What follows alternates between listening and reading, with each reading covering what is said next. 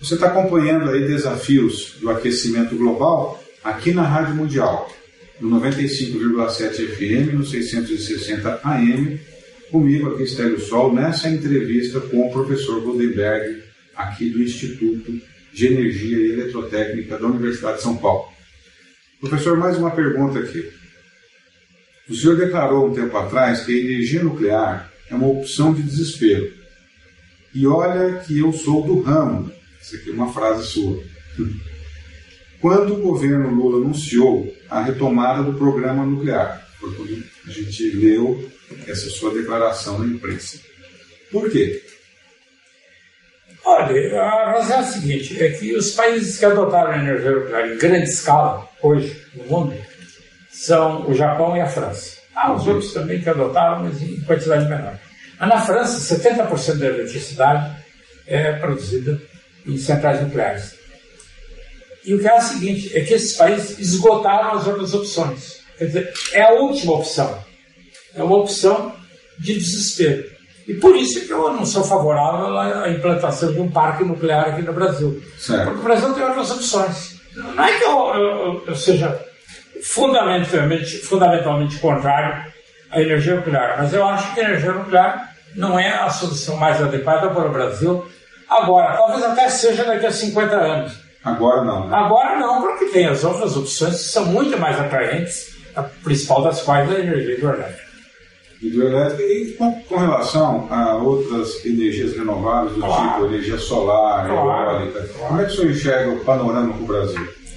Olha, o, o, Brasil tem energia hidroelétrica em grande quantidade, que ele ainda se explorado. Ainda pode ser explorado. Apenas um terço da energia hidroelétrica do Brasil foi utilizada até agora. Ele tem o programa do álcool, que é um programa excelente também, mas ele não tem é, feito trabalho muito significante nas outras áreas. Nas outras áreas. Que né? são energia eólica, quer dizer, energia dos ventos, e é, captação direta da energia solar, ou para aquecimento da água, okay. ou para geração de eletricidade.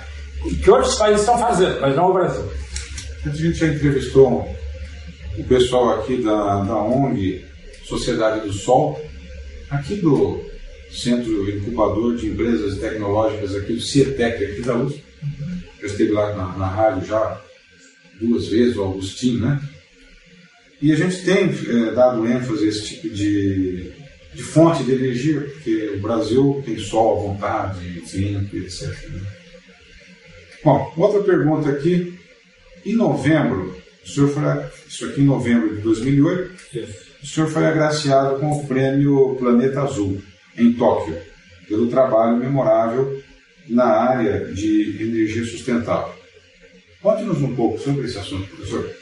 Olha, o prêmio uh, Planeta Azul é um prêmio que é dado anualmente por uma fundação japonesa que tenta ocupar o papel que a Fundação Nobel ocupa para outras áreas. Okay. O prêmio Nobel ele é dado para as ciências que foram listadas pelo Alfred Nobel, que foi o criador dessa fundação, no começo do século passado. Certo. Que são, então, física, química, medicina, economia. São, as, digamos, as ciências tradicionais. Não existe prêmio Nobel na área ambiental. Okay. E a fundação japonesa, ela tentou, está tentando ocupar este papel. E ela concede, então, anualmente este prêmio desde 1992. Ah. Esse ano foi o 17 ano que ela concedeu. O prêmio é dado pelo trabalho de vida da pessoa. Certo. E, e há uma citação que foi feita e eles dizem as razões pelas quais estavam dando o prêmio para mim. E foram duas as razões. A primeira é o conceito de tecnológico leapfrogging, que eu já expliquei. Certo. E a segunda é um trabalho científico que eu fiz em 1990, em 1978. Ok. Há 30 anos atrás. 31 anos atrás que foi publicado numa revista americana. E esse trabalho mostrava que etanol é como se fosse energia solar liquefeita. Isto é, é como se a gente captasse a energia solar e transformasse num líquido e a gente utiliza para fazer os automóveis andarem. Mas é bem isso mesmo, né? porque a energia é, da, é através da fotossíntese. E, e esses é são. O trabalho é, tenta premiar a carreira toda da pessoa, mas no, na citação do prêmio, esses foram os dois pontos altos. Muito bom. Parabéns mesmo aqui, em nome da Rádio Mundial e dos nossos ouvintes todos aí que estão acompanhando a programação aqui no 95,7 FM e no 660 AM, no programa Desafios do Aquecimento Global. Professor, eu gostaria que o senhor deixasse uma mensagem final aqui para os ouvintes do nosso programa sobre é, esse trabalho de conscientizar, de levar informação. O que o senhor gostaria de passar para o cidadão comum que está nos ouvindo agora?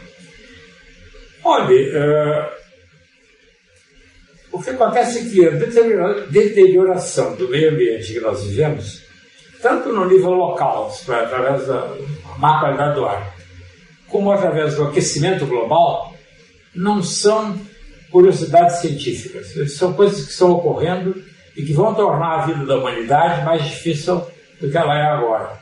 Nos próximos então, anos. Nos próximos anos, nas próximas décadas. Você é. acredita que o ano uh, digamos, o mundo vai ser diferente no ano 2030 ou no ano 2050, porque uh, as geleiras vão derreter, o clima vai piorar de uma maneira substancial.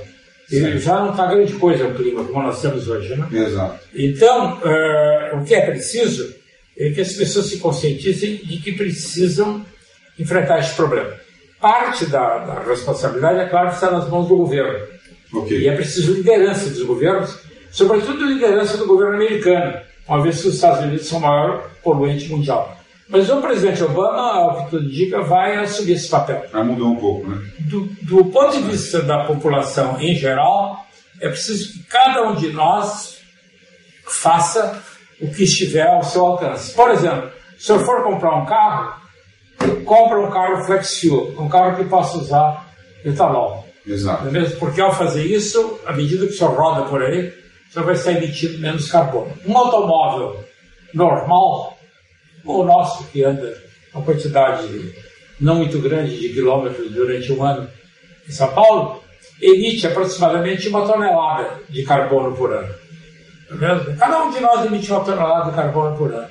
Então, na medida que a gente substitui a gasolina por etanol, nós estamos fazendo a nossa contribuição.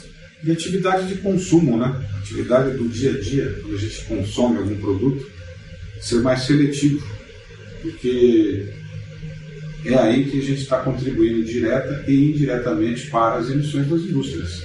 Também, né? Professor, para agradecer muito aqui em nome da Rádio Mundial, do programa Desafios do Aquecimento Global, e também em nome dos ouvintes que a gente tem, a gente sabe que tem muitos ouvintes que ficam acompanhando, não perde um programa, o pessoal liga, manda e-mail. E é em função deles que a gente está aqui, que a gente existe é, que nos dá o, o, motivo de existir esse programa. Então, eu quero agradecer muito a, a presença do senhor aqui no programa e convidá-lo a outras vezes. Muito obrigado. Muito obrigado.